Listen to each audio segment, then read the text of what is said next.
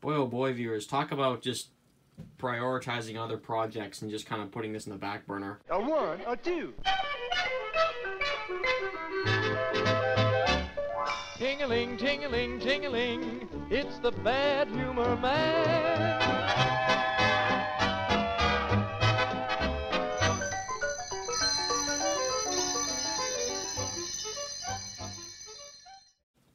Well, hello again, guys. It's Gregola Productions here, and here we are in year three, or whatever the heck we're at now, of the Columbia Grafonola service. Yes, we're back on.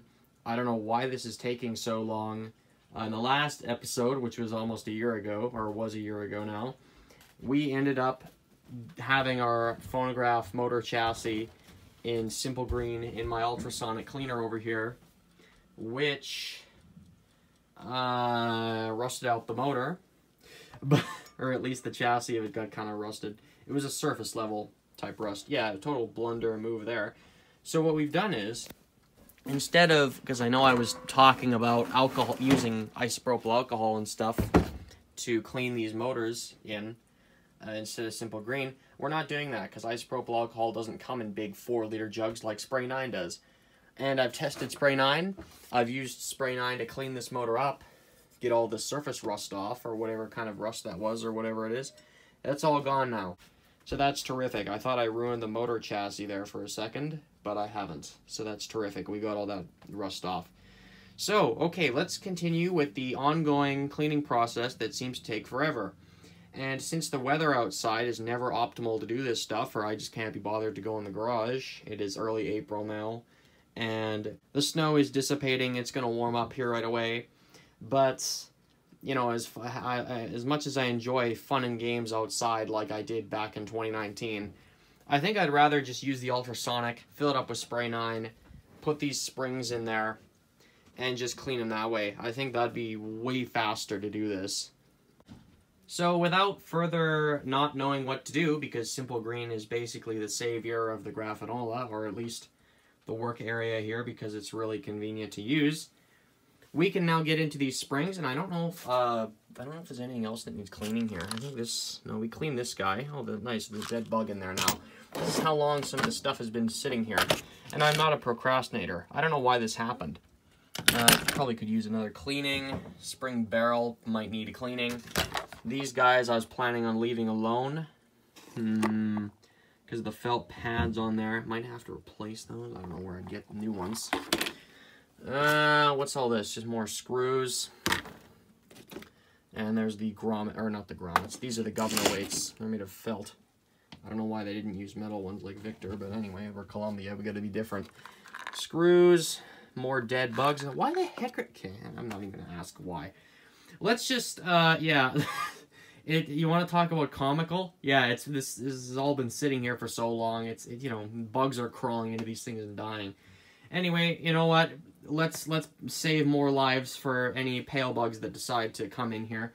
Let's uh, let's get these springs clean ASAP. So cleaning these things in an ultrasonic cleaner is actually, as you can see, incredibly convenient. We might be able to fit both springs in there. Let's try it. This work I have to do, the better.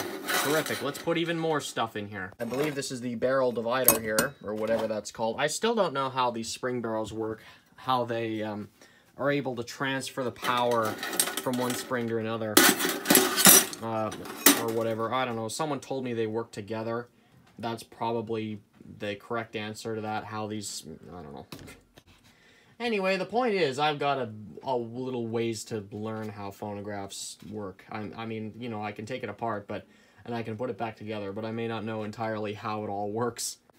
It's just kind of putting things back where I found them, if you know what I mean. And just like that, Greg poured the gasoline onto the phonograph springs. Okay, before we get all trigger happy in the push the button and let the ultrasonic go department, you can see that the ultrasonic has this kind of line here. Yeah, that's a fill line. And I've just emptied a 4 liter jug of spray 9 into this tank. And we're still not quite hitting the fill line. So I've got another one here. We're to just add a little more. I just want to note that, just, you know, just in case you're doing this yourself. You got to go above the fill line. Not by much, but just at the fill line or above it. Also, when these phonograph springs and all this stuff comes out of here, it's going to be soaking wet. It needs to dry somewhere, and I was debating putting a bunch of old newspapers on the, or not old newspapers like Troy History collects, but uh, old news, uh, old week old newspaper that no one's gonna read. Uh, I was debating doing that, but there's a lot of text on those things, and half the time they say what city I'm in. So we passed on that. We just grabbed a couple of old T-shirts. They're gonna sit on there. I'm not sure if I'm gonna do any scrubbing with brushes on these things. Uh, we'll see how the Spray 9 performs and see how clean these are when they come out. I know these top coils are kind of sticking out of here still. Uh, it's not the end of the world if I have to wipe those off instead of having them submerged.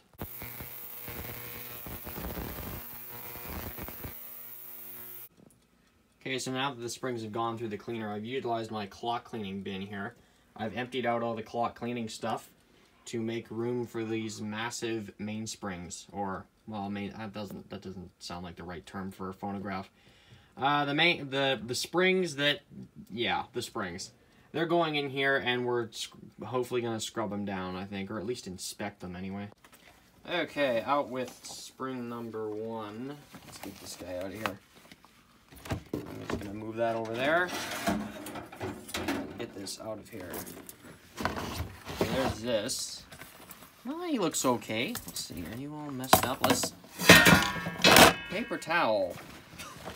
Brought to you in part by C. Porter 1947, who decides to clean his phonograph springs with paper towel, ladies and gentlemen. And there's still dirt coming off this. Okay. Um, or some dirt anyway. We got more. Let's try and get the center coil there, see what's going on. I don't know if there's much going. Actually, this is fairly clean. I think this might be usable as is. Let's grab more paper. Let's gra let's grab more paper towel. Brought to you in part by. Okay, I'm gonna stop. Let's get more paper towel going here. Kind of see what we're. And yeah, I am wearing gloves here. This is not something I want to do barehanded. Uh. Yeah, it looks fairly okay. I don't know why, yeah, that might be, I'm gonna let that dry. I'm gonna put that on the quote-unquote drying shirts or whatever. Okay, spring number two.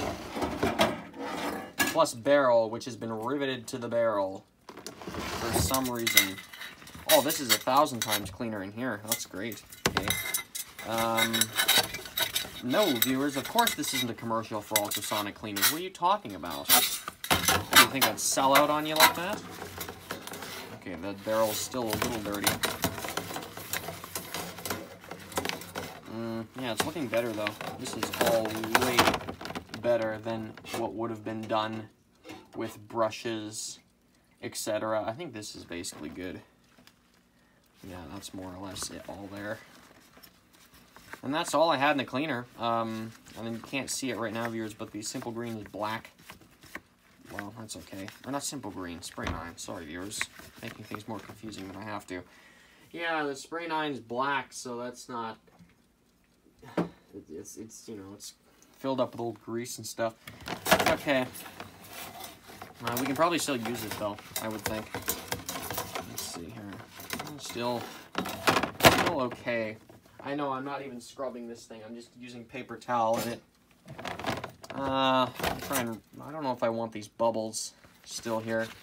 I like it when the bubbles are not there. I'm just gonna dunk that back in there for a second. Get rid of the bubbles. I don't know if that would, I don't know if that would create some weird, like, dry spot or whatever. If this had, if it had the, those bubbles on there or not, or if those bubbles would just dry out and evaporate. Who knows? Okay. Let's let all this hoo-ha dry.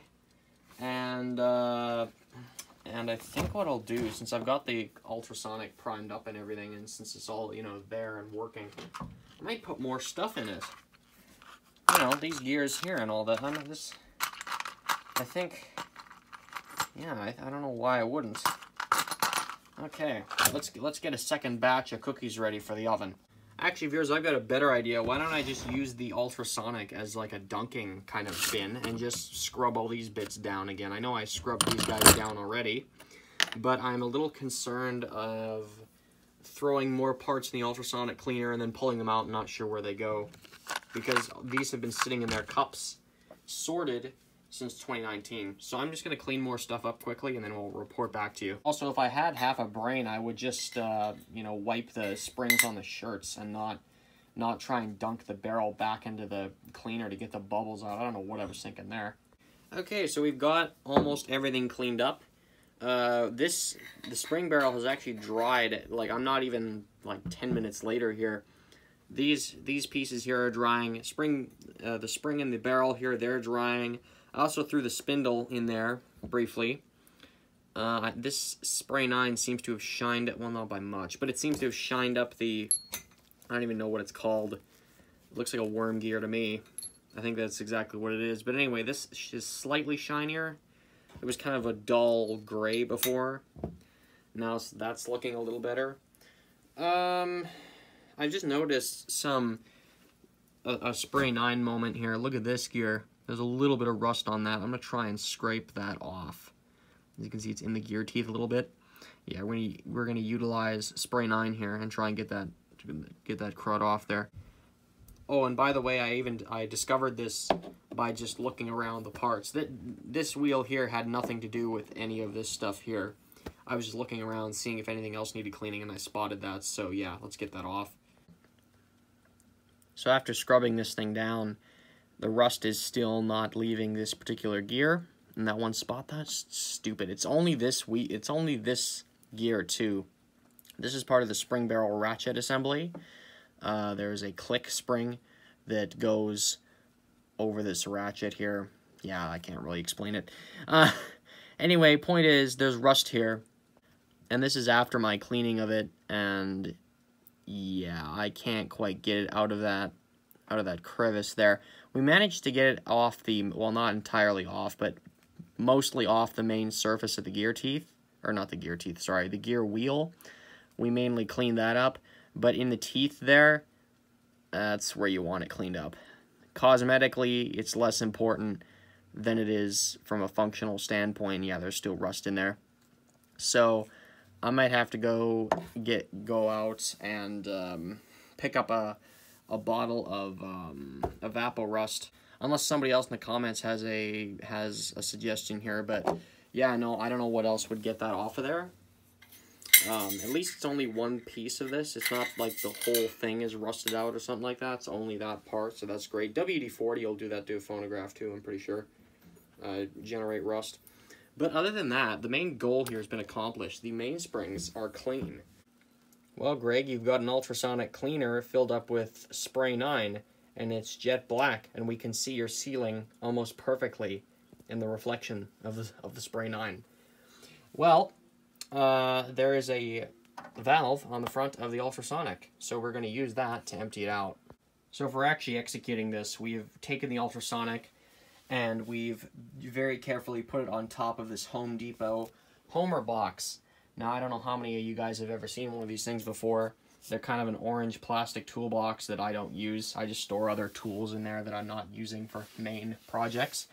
Anyway, it is the perfect height of a spray 9 bottle. So, if we just start our water feature up here, you know, who needs to buy a fountain when you have this thing? And also, and also this is kind of a slow process because if you go too fast with it, if you let too much fluid out, or too much spray 9 out. As you can see, that ball in there moves around. I don't know if you can see that. It opens up an area for the spray 9 to leave, or the whatever liquid you're using. Yeah, if you open that full throttle, this stuff will foam up, and it'll go everywhere. So you kind of have to release it in a sort of a slower process like this. This will take a few minutes to empty out.